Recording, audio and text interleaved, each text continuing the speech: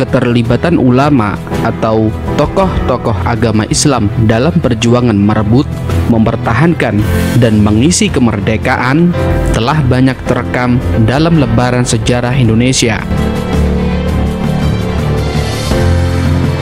Salah satu ulama yang semangat dan jejak juangnya yang pantas diteladani adalah Kiai Haji Abdul Wahab Hasbullah.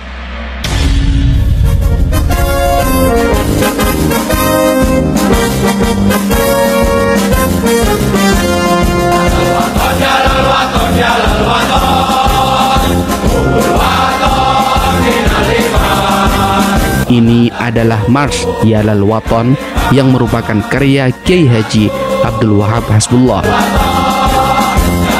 Dengan semangat syair Yalal Waton inilah beliau berhasil menumbuhkan rasa nasionalisme para santri demi melawan para penjajah Belanda maupun penjajah Jepang.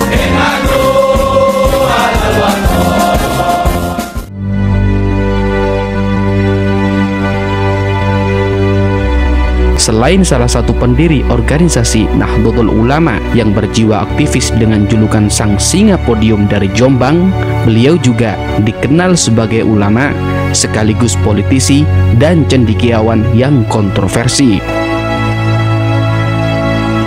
Kesadaran akan pentingnya kemerdekaan telah lama menjadi kesadaran yang dihayati dan diperjuangkan oleh banyak ulama tidak terkecuali oleh Kiai Haji Abdul Wahab Hasbullah.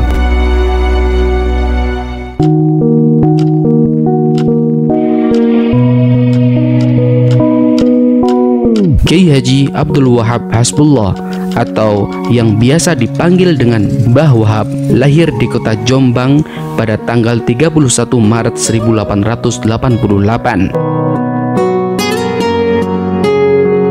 Beliau merupakan putra pasangan Kiai Haji Hasbullah Said, pengasuh pesantren Tambak Beras Jombang, Jawa Timur dengan Nyai Latifah. Kiai Haji Abdul Wahab Hasbullah berasal dari keturunan Raja Brawijaya keempat dan bertemu dengan silsilah Kiai Haji Hashim Ash'ari pada Kiai Abdul Salam bin Abdul Jabbar bin Ahmad bin Pangeran Sumbu bin Pangeran Benowo bin Jaka Tingkir. Sejak kecil, Kiai Haji Abdul Wahab Hasbullah menghabiskan masa pendidikannya di pondok pesantren. Selama enam tahun awal pendidikannya, beliau dididik langsung oleh ayahnya. Baru ketika berusia 13 tahun, Kiai Wahab merantau untuk menuntut ilmu. Maka beliau pergi ke satu pesantren ke pesantren lainnya selama 20 tahun. Di antara pesantren yang pernah disinggahi Mbah Wahab Hasbullah ini adalah Pesantren Langitan Tuban, Pesantren Mojosari, Pesantren Cempaka, Pesantren Tawangsari Sepanjang, Pesantren Kademangan Bangkalan Madura di bawah asuhan Kiai Haji Khalil Bangkalan, Pesantren Beranggahan Kediri, Pesantren Tebu Ireng Jombang di bawah asuhan Kiai Haji Hashim Ash'ari. Selain di tanah Jawa, Kiai Haji Abdul Wahab Hasbullah juga memperluas pencarian ilmunya hingga ke tanah Arab. Di tanah suci Mekah inilah beliau belajar kepada Syekh Mahfud Termas, Syekh Khatib Al-Minangkabawi, Syekh Baki Al-Jugjawi, Kiai Muhtaram Banyumas, Kiai Ash'ari Bawean, dan Syekh Said Al-Yamani. Meskipun jauh di negeri orang dan masih masa belajar, Kiai Haji Abdul Wahab Hasbullah memiliki perhatian besar terhadap kondisi tanah airnya yang masih dalam jajahan Belanda. Pada tahun 1914, ketika Kiai Haji Abdul Wahab Hasbullah kembali ke Indonesia, beliau bersama Kiai Mas Mansur mendirikan berbagai madrasah Hingga tahun 1941, beliau juga kerap mendirikan Taswirul Afkar, yaitu suatu kelompok diskusi dan sebuah wadah perdebatan yang bukan hanya tentang agama, akan tetapi juga mengenal persoalan-persoalan nasional. Selain mendirikan Taswirul Afkar, beliau juga kerap mendirikan Nahdlatul Tujjar hingga Nahdlatul Waton di kota Surabaya.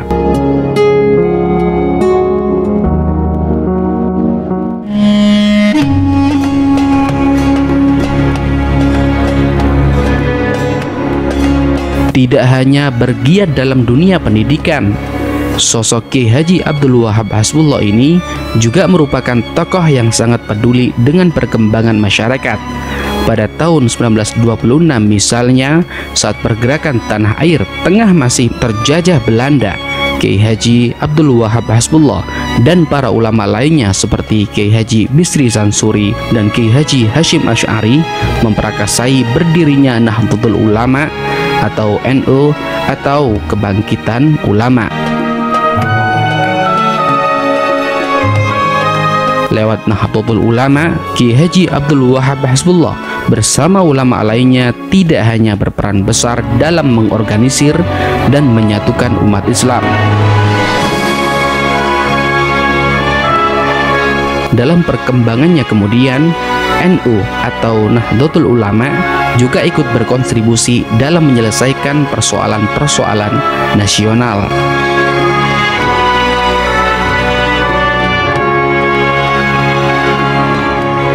Selain mendirikan gerakan pemuda Ansor yang lahir dari rahim Nahdlatul Ulama, pada masa penjajahan Belanda, NU tidak terlibat dalam kegiatan politik dikarenakan misi awal pendirian NU bukan sebagai partai politik.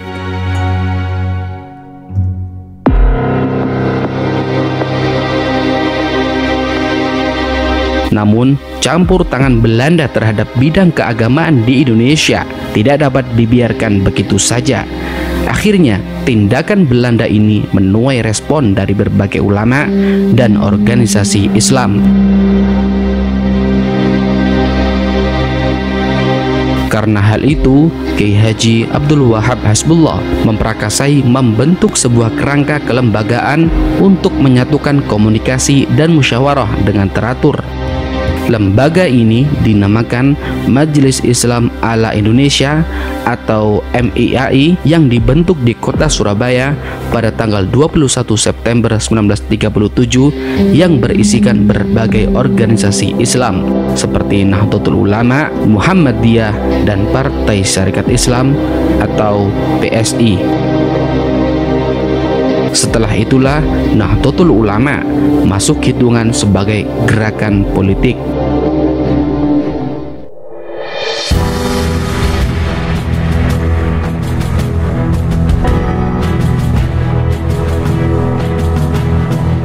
Masa pendudukan Jepang di Indonesia pada tahun 1942, selain mendirikan Masyumi sebagai ganti dari MIAI, Kiai Haji Wahid Hashim dan Kiai Abdul Wahab Hasbullah bersama ulama lainnya berkontribusi membebaskan Kiai Haji Hashim Ash'ari pada tanggal 18 Agustus 1942 saat empat bulan sebelumnya dipenjara dan disiksa oleh Jepang karena menolak melakukan Seikerei. Indonesia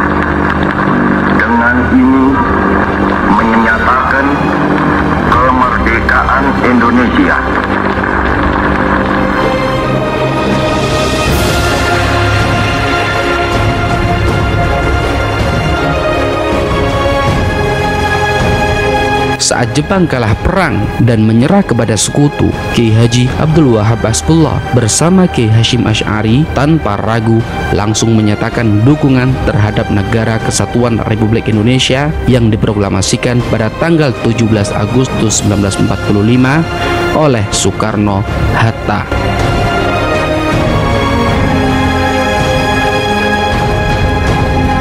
Dukungan ini kemudian dibuktikan oleh Kiai Haji Abdul Wahab Hasbullah dan para ulama serta kalangan santri dengan keterlibatan mereka dalam mempertahankan kemerdekaan Indonesia.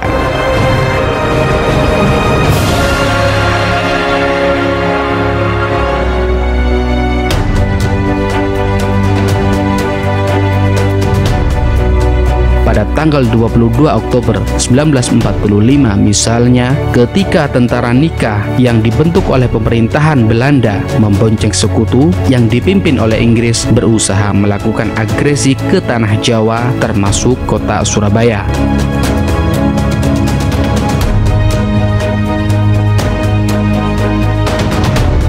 Dengan alasan mengurus tawanan Jepang, Kiai Haji Abdul Wahab Hasbullah bersama para ulama lainnya menyerukan resolusi jihad melawan pasukan gabungan Nikah dan Inggris.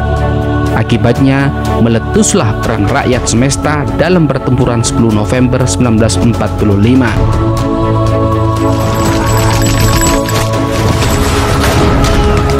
Fatwa jihad atau resolusi jihad ini mengobarkan para santri, ulama, dan umat Islam untuk melawan pasukan gabungan nikah dan Inggris.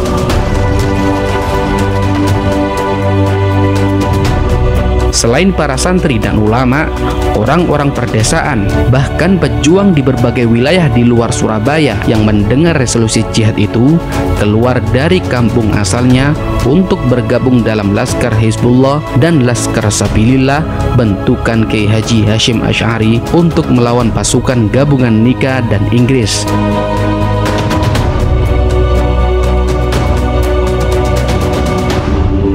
Peristiwa 10 November 1945 ini kemudian diperingati sebagai Hari Pahlawan Nasional.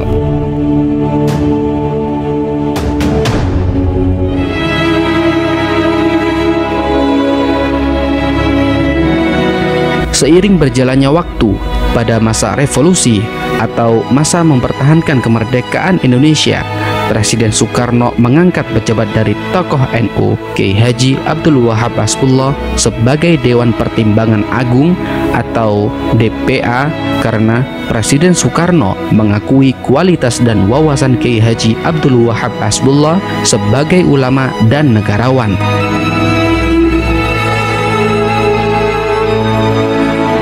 Selain berkontribusi menarik NU dari Masyumi, sosok Kiai Haji Abdul Wahab Hasbullah memiliki ciri khas dalam memperjuangkan prinsip-prinsip yang diyakininya dalam membantu demokrasi.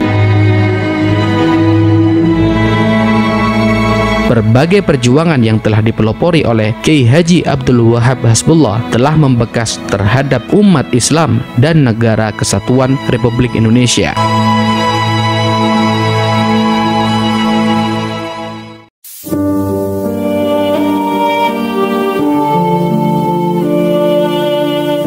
Muktamar NU ke-25 adalah muktamar terakhir yang telah diikutinya. Sebelum wafat, Kiai Haji Abdul Wahab Basbullah pernah berdoa agar di